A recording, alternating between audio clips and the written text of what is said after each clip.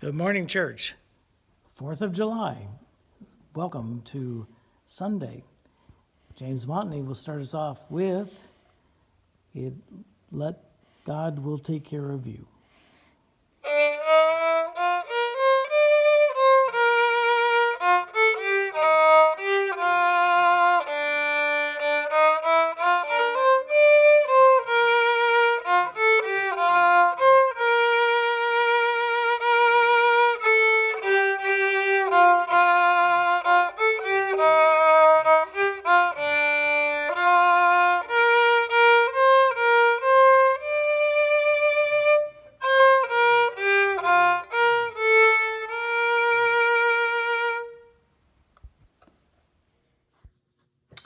Our Sunday devotion is from the Upper Room Discipline written by James Harnish. And our scripture this morning is Psalm 48. Great is the Lord and greatly to be praised in the city of our God, his holy mountain. Beautiful in elevation is the joy of all the earth. Mount Zion in the far north, the city of the great King. Within its citadels, God has shown himself a sure defense. And then the kings assembled, and they came on together. And as soon as they saw it, they were astounded. They were in panic. They took to flight. Trembling took hold of them there. Pains as of a woman in labor, as when an east wind shatters the ship of Tarshish. As when we have heard, and so we have seen in the city of the Lord of hosts, in the city of our God, which God establishes forever. We ponder your steadfast love, O Lord God, in the midst of your temple. Your name, O God, is like your praise, reaches to the ends of the earth. Your right hand is filled with victory. Let Mount Zion be glad, and let the towns of Judah rejoice because of your judgment. Walk around Zion, go all around it, count its towers. Consider well its ramparts, go through its citadels so that you may tell the next generation that this is God, our God forever and ever. He will be our guide forever. The word of God for the people of God. Thanks be to God.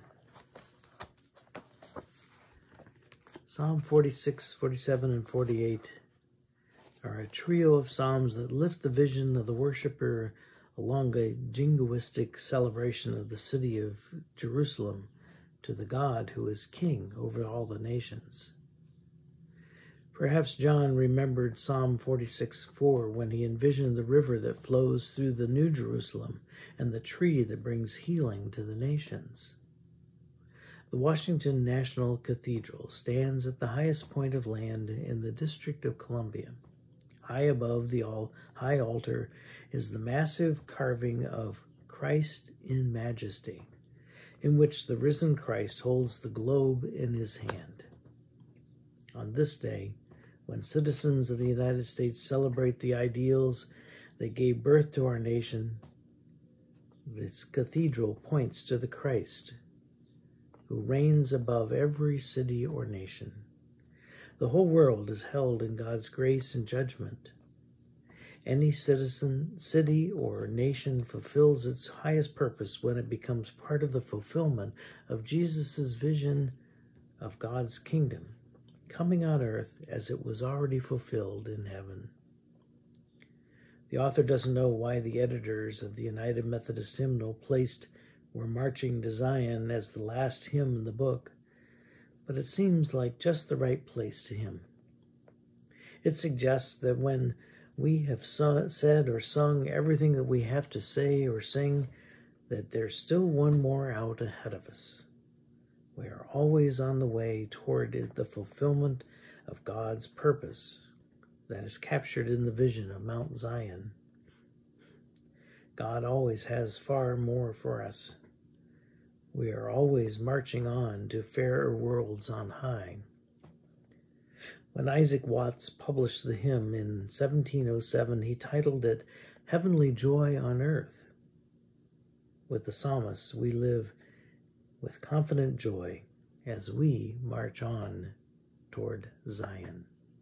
Let us pray. Then let our songs abound and every tear be dry. We're marching through Emmanuel's ground to fairer worlds on high. We're marching upward to Zion, the beautiful city of God. Amen. Our closing hymn is How Great Thou Art.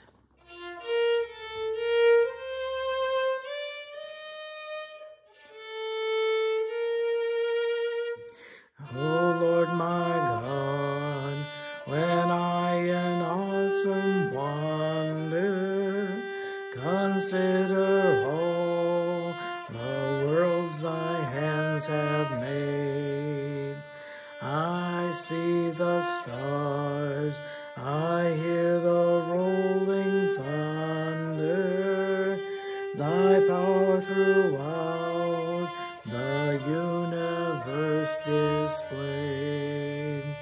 Then sings my soul, my Savior God, to thee. How great thou art, how great thou art. Then sings my soul, thy Savior God, to thee. How great thou art, how great thou art.